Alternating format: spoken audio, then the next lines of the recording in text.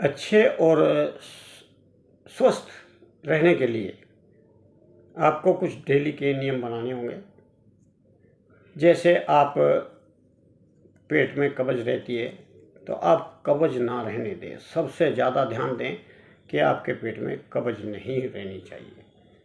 किसी ने बोला है कि जितने भी दुनिया में सृष्टि में बर्तन हैं, सबसे गंदा बर्तन हमारा पेट है। तो उसको अगर आप साफ़ नहीं करोगे तो आप उसमें भोजन नहीं डाल सकते। इसकी सफ़ाई आप ध्यान रखें। अगर आपको कब्ज रहती है तो आप पपीता खाएँ या इसबगोल का प्रयोग करें, फाइबर युक्त भोजन करें या फिर उसके बाद अपने चिकित्सक से मिल करके आप उसका उपाय करें। नियम दूसरा है कि आप भोजन करने से पहले दांत, मुँह और पैर ज़रूर धोएँ इसका बहुत गहरा संबंध है। इन नियमों पर मैं आगे चल करके एक एक नियम के ऊपर एक एक वीडियो बनाऊँगा।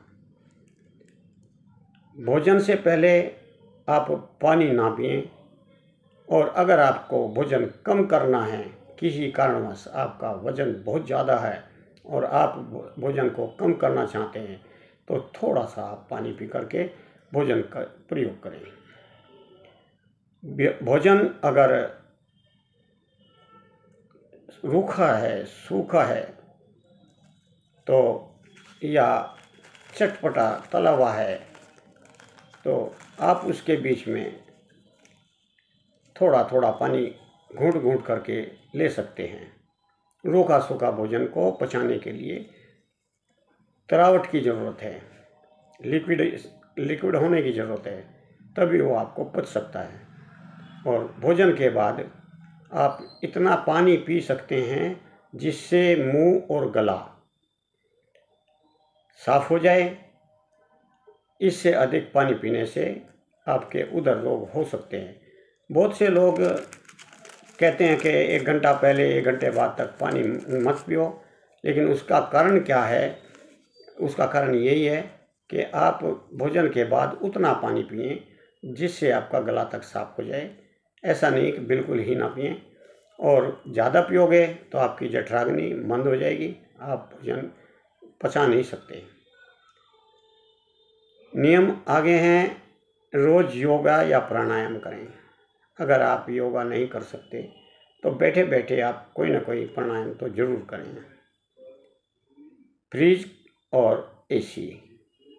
मेरे हिसाब से एसी और फ्रिज व्यक्ति के स्वास्थ्य के सबसे बड़े दुश्मन हैं। फ्रिज इसलिए कि चिल्ड दूध, चिल्ड पानी पीने से आपके अंदर की म्यूकस खराब हो जाती हैं और आपके उधर रोग होंगे, नाना प्रकार के रोग हो जाते हैं। जिस प्रकार से आप हाथ में अगर बर्फ़ लेते हैं तो हथेली की दशा देखें कि सफ़ेद सफ़ेद और सुकड़ी हुई हो जाती है। और अंदर तो म्यूकस बहुत कोमल होती है। वो टूट करके अलग हो जाती हैं। एसी इसलिए है कि आप एसी से निकल के बाहर जाओगे, बाहर से तक तपती हुई धूप से एसी के अंदर एकदम आता है तो ये परिवर्तन आपके स्वास्थ्य को बिगाड़ करके रख देता है। और सबसे बड़े कारण आहार और ये जो मैं उपाय बता रहा हूँ इनके कारण आजकल बड़े बड़े रोग पैदा हो रहे हैं। अगर आप घर में आए हैं तो आप अपना मुँह, हाथ और पैर ज़रूर धोएँ। ये आप कोविड के नियम के अनुसार भी है, ये हमारे धार्मिक इस प्रथाओं के हिसाब से भी है और आयुर्वेद के हिसाब से भी है। जो व्यक्ति दिन में तीन या चार बार मुँह दांत साफ़ करता है, पैर धोता है, मुँह, चेहरा धोता है। वो व्यक्ति बहुत ही कम बीमार होता है। आँखों पर जब आप मुँह धो या भोजन करने के बाद कुल्ला करो तो आँखों में आप पानी के छींटे ज़रूर मारें। आपकी आँखें खराब नहीं होंगी। घर में फर्श पर नमक का पोचा लगवाएँ ये जीवाणुओं को समाप्त करने का तरीका है नकारात्मकता दूर होती है। और अगर आप गाँव में हैं, कच्चा फरस है तो हफ, सप्ताह में एक बार गोबर का लेप ज़रूर करें। ऑयल आप इस्तेमाल कम करें। अगर आप मेहनत करते हैं तो ऑयल तेल और घी आप खूब अच्छी तरीके से खा सकते हैं।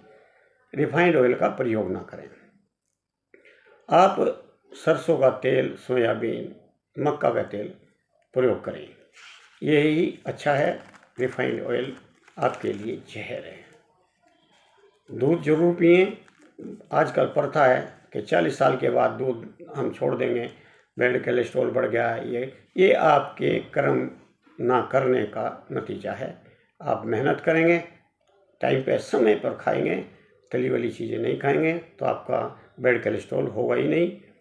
अगर हो गया है और आपने दूध घी छोड़ दिया है बिल्कुल ही तो आपका गुड़ कोलेस्ट्रॉल कहाँ से मिलेगा? जो शरीर के लिए बहुत ज़रूरी है। आप घी और तेल को कढ़ाई में या तवे पर ना जाने दें। उसको ऐसे ही एटिजिट आप रोटी के साथ खा सकते हैं, सब्ज़ी में लगा करके खा सकते हैं, थोड़ा खा सकते हैं। लेकिन ले ज़रूर। ये मेरा अपना मानना है। अगर आप गलत खा भोजन कर चुके हैं, यानी भारी खाना खा लिया और स्वाद के कारण बहुत ज़्यादा खा लिया तो उसे पचाने का उपाय करें। आप क्या उपाय कर सकते हैं? आप घूमें, थोड़ी देर के बाद भोजन के, थोड़ी देर के बाद आप गर्म पानी पिए और लवण भास्कर या हिंगवा स्टिक्शन ले सकते हैं। कुछ तो करना पड़ेगा। धन्यवाद। आज इतना ही। फिर मिलते हैं किसी और सब्जेक्ट के साथ।